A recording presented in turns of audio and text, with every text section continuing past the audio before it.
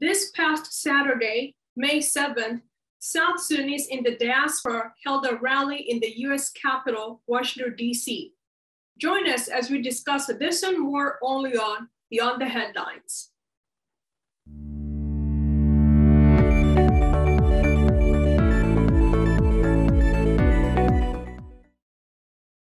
Our guest on the program is Mr. Alfred Stevens, who was among the organizers of the rally held in Washington, D.C. Welcome to Beyond the Headlines. Thank you so much. I appreciate it. You held a rally in Washington, D.C., which brought South Sudanese from across the U.S. to the Capitol. What was the purpose of the rally? Uh, first of all, uh, let me thank you for this uh, great opportunity. Uh, my name is Alfred Steven, and um, uh, I'm the co-chair with uh, Brother Abraham Lolik. Um, we are concerned citizen of South Sudan. last week, we hold a peaceful rally in Washington, D.C., and, and that brought um, all our South Sudanese people from different aspects of, of, of their backgrounds. we, we went there and the purpose for that rally is uh, primarily to appeal for all our South Sudanese people uh, to come together and, and to urge in, uh, urgent interventions um, uh, from uh, regional international uh, community to end the bloodshed and the human rights abuses in our country, South Sudan. You mentioned that people from different parts of the US came to be part of the rally. Where did they come from? Which states specifically? Uh, actually, they came from all over the states. Um, uh, they came from all over the states. Uh, that is, uh, as we know, we do have a lot of uh, large South Sudanese community in the United States. there is people came from Texas, from North Dakota, from Washington D.C., from North Carolina, from Tennessee, from Iowa, from all these places where the South Sudanese are residing. Your appeal is to end the ongoing conflict and humanitarian crisis in the country. Who are you specifically targeting and appealing to? Uh, yeah, this is a great question. Um, as all of us we know, uh, the United States, uh, we consider the United States is the godfather of our country, uh, South Sudan. And the United States has put a lot of pressure uh, to end uh, the, the, the, the, conflict in our country. let me just go back uh, a little bit. Um, when we got our country in 2011, uh, we as a South Sudanese, we were so uh, aspired and so happy to go back to our country to live as the first uh, uh class citizen in our country uh, with the prosper nations in, in, in, in, the world. But unfortunately, our leaders just put us back to war again. And, and, and, um, and that's why we came to uh, tell the United States government and the uh, the United Kingdom, the Norway, the Australia, the the African uh, Union, the IGAD, and the European Union and the United Nations, uh, also to intervene in the situation that's happening in, in Junub Sudan, uh, so they can end up uh, in this bloodshed and the human humanitarian crisis that is facing the country. And we went there and we delivered that message to the Joe, uh, President of the United States, Joe Biden. Yes, you know, during the rally in Washington, D.C., you planned, of course, on delivering a written document to the U.S. government. You mentioned Joe Biden. Um, how were you able to go ahead and ensure that he received the written document?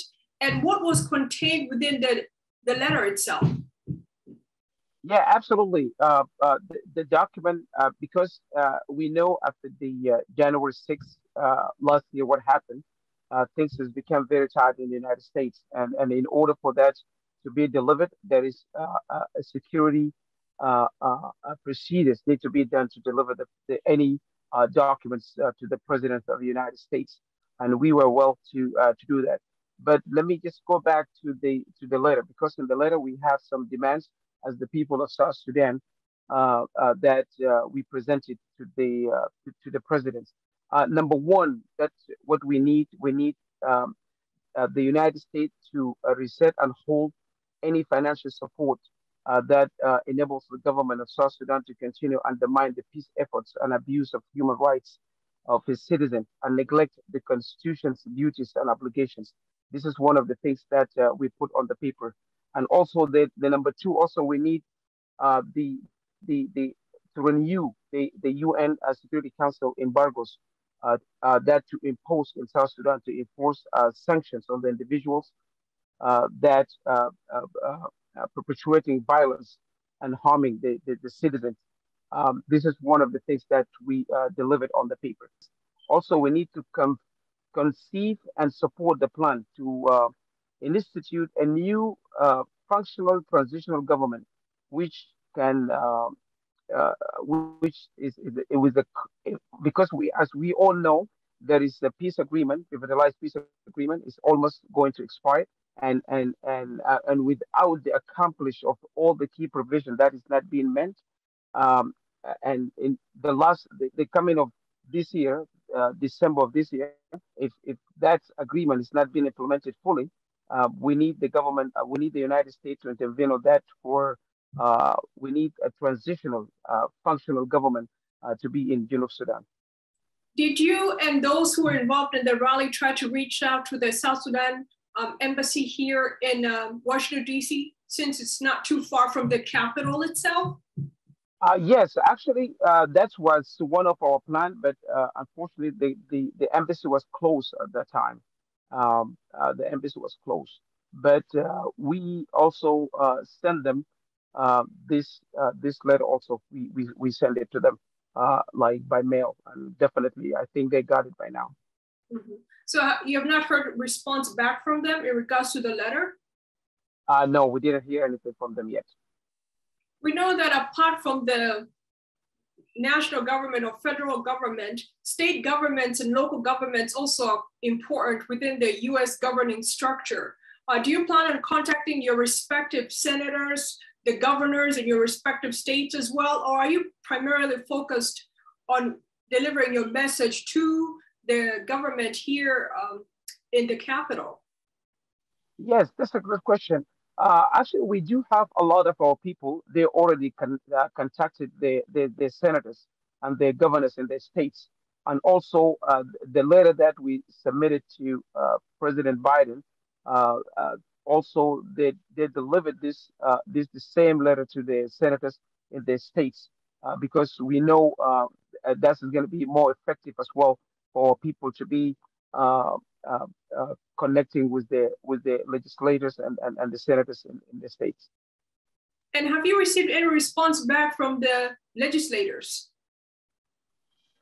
Yes, uh, we do have some individuals. They already uh, get the response uh, uh, from the from the legislative senators. some of the individuals they got response from them. Yes. And what was the response? uh, the response is like they will look uh, on this case and and and they will uh, they will let us know. Um, as noted, one of the objectives of the participants or concerned citizens who took part in the rally is to mobilize South Sudanese across their political, ethnic, regional, and religious diversities within and outside South Sudan to demand an end to the crisis in the country. How do you plan on mobilizing the South Sudanese here in the diaspora? Uh, yeah, that's a great question. Um, actually, we thanks uh, the social media. We thanks the social media. That's our main goal to mobilize our people. We do have uh, um, some uh, social media uh, that we use: the the, the Facebook, the uh, the Twitter, the the, the Clubhouse, the Instagram. all those social media, we utilize this to to bring our people together. And also, um, uh, we uh, do have some uh, um, some representative in, in, in, other states who are helping us to mobilize our people to come together. Are you planning on holding other rallies in the US Capitol, or will you also go ahead and ensure that other rallies are held in other states as well? Yes, uh, uh, we actually, this is it's not just one-time rally. It's going to be a continuation of rallies. Uh, definitely, we're going to have uh, uh, upcoming rallies are coming very soon. We didn't uh, fixed the date yet, but soon we do have another rally. This rally is going to be in New York, uh, but we're still going to sit down as a team to uh, fix the date and, and, and mobilize our people to come to New York. Uh, that's for the next rally. And also there is uh, uh, there is a lot of support from our people in Australia and Canada and Europe. Also, they are planning for the upcoming rallies as well very soon. Well, thank you, Mr. Alfred Stevens, for joining me here on Beyond the Headlines. We appreciate you for coming on. I appreciate you. Thank you so much uh, for just uh, uh, giving us this opportunity to come uh, at your platform. Don't forget to subscribe to our YouTube page at Sunrise Media.